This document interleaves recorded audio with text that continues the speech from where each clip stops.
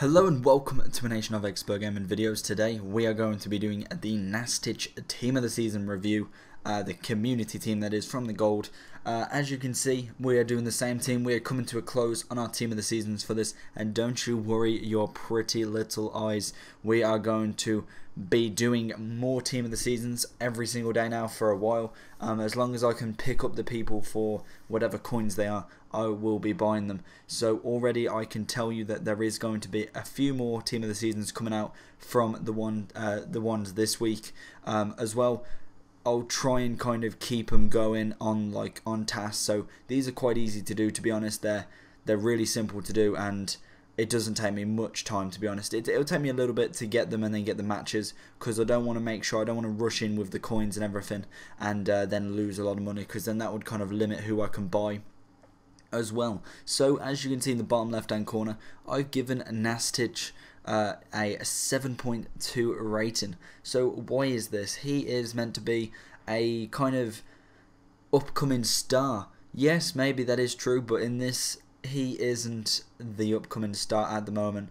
Um, I believe in FIFA 14 he may be a little bit better, but maybe kind of like the David Luiz, uh, a bit more OP than what um, what he is like for the age that he is and uh, kind of like the the rating that he is in in a club. You've got Kompany to uh, live up to in Man City. Obviously, it's got to be something good if he's being paired with Kompany. Um, so yeah, it's got to be something good. So why didn't I like him? To be honest, it's not that I didn't like him. It's just that he kind of never fit in with his players.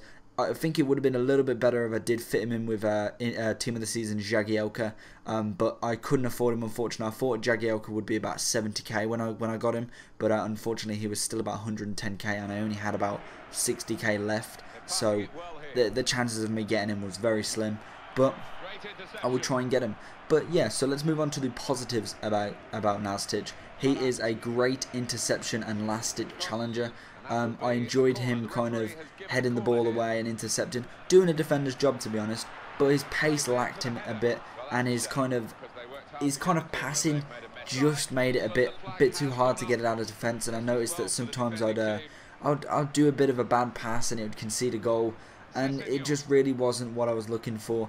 It, overall, his play is really good if you can play the kind of defensive game. If you've got a maybe, maybe it's good if you have like a, a really pacey centre back um, paired with him. So say if you picked up David Luiz, in fact, yeah, if you picked up David Luiz as he is quite fast on this game and put him there, he'd probably make a really good defender because it would have that kind of combination of the block, uh, the sh uh, shot blocker, and then the kind of defender that runs in and tackles players uh, from kind of like their runs on the wing. Like you see here, he Nastasic is chasing him, but he just kind of lowers his pace a little bit and it just never really caught up. He did make the challenge in the end from a mistake from that player but overall sometimes if the player doesn't make that mistake he's going to punish you and probably score.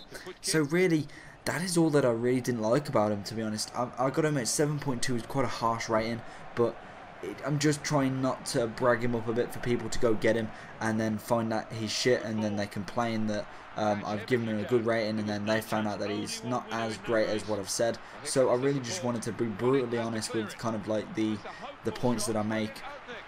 And to be honest, he wasn't the worst player that I played with. I must say Rifa was worse than him. Um, I, I really didn't fancy Rifa at all.